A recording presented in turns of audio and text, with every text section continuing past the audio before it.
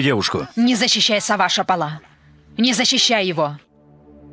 Кто знает, какого поля ягода эта девчонка, что он привез. Что ты такое говоришь? Что не так с девушкой? Ясно, что она за фрукт. Открой глаза, Пала, открой. Она бесчестная. Где это видно, такая семья? Ее мать взяла и уехала в Бодрум. Что она там потеряла? Девушка живет совсем одна. Неизвестно, чем она здесь занимается. А мой сын берет и без стеснения приводит такую девчонку к нам домой. Где это видано? Что ты знаешь о девушке, что так говоришь о ней? Достаточно того, что я видела. Сестра, ты берешь грех на душу. Возьму, Фидан. Я лучше возьму грех на душу, чем мой сын сломает себе жизнь.